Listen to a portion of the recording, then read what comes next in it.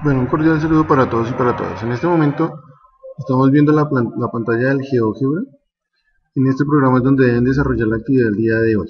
Bien, entonces, ¿cómo van a hacer para crear las rectas que necesitan? Primero, se supone que en el cuaderno ya hicieron el proceso de solución de las ecuaciones, ya encontraron por lo menos dos puntos para cada una de las ecuaciones, sea como lo vimos el día de ayer en clase o como lo vieron ahorita en el video del profe Julio.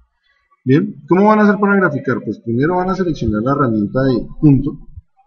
Esa herramienta de punto es la que usted va a utilizar para generar la recta. Aquí está la cuadrícula, entonces supongamos que vamos a crear el punto menos 2, menos 2. Por ahí pasa mi recta. Y el otro pasa por el punto 5,4. ¿Listo? Ya tienen los dos puntos. Selecciona la herramienta recta.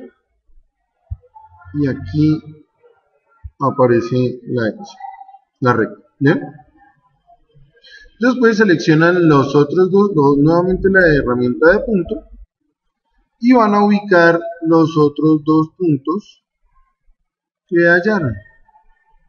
Nuevamente generan la recta